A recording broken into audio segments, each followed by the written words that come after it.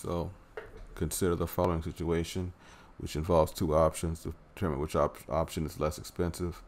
Are there unstated factors that might affect your decision? You currently drive 420 miles per week in a car that gets 25 miles per gallon. You're considering buying a fuel efficient car for 14,000 after trade in on your current car that gets 50 miles to the gallon.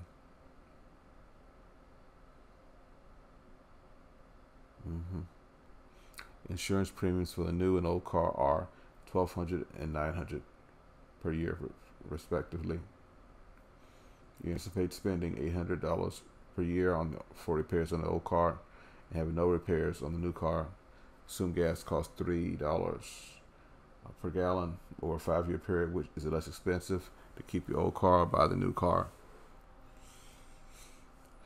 Okay. Determine the total cost over a five-year period for each option, new car or old car.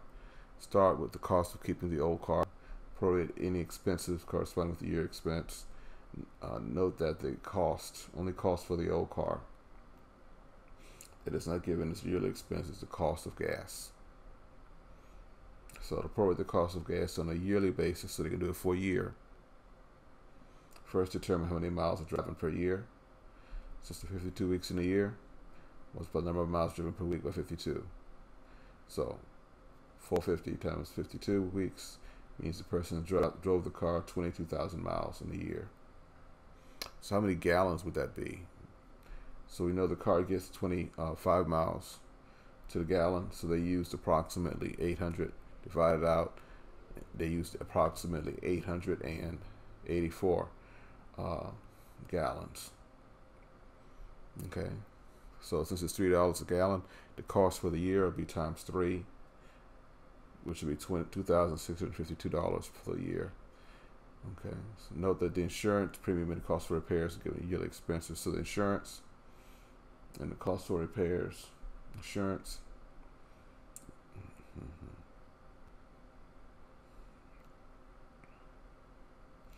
And the cost for repairs is eight hundred dollars. So you end up spending uh, four thousand three hundred fifty-two dollars. Okay, so that's per year for the old car. So to find out how much that's going to be for five years, multiply by five. That gives you twenty-one thousand seven hundred sixty dollars. Okay, so that's how much it's going to cost to keep the old the old car for five years. Now find the cost of buying the new car over the five-year period. Again, the cost of gas is not given as a yearly expense since the number of miles driven does not change.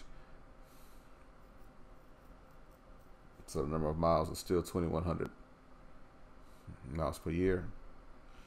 In this case here, it's a different number, different number of gallons. The miles per gallon is different on a new car. It's 50 miles per gallon.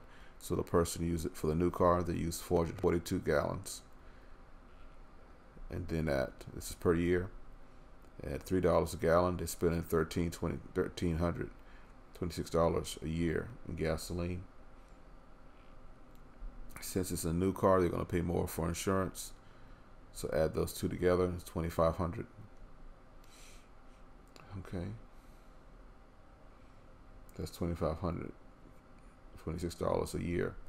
So the cost of the new car is going to be the cost of the car plus the, the maintenance up here. Uh, 25, 26 times 5, which comes to me $26,630. Uh, so you have the cost there to keep the old car is 21000 The cost of buying the new car is 26000 It's cheaper to keep the old car.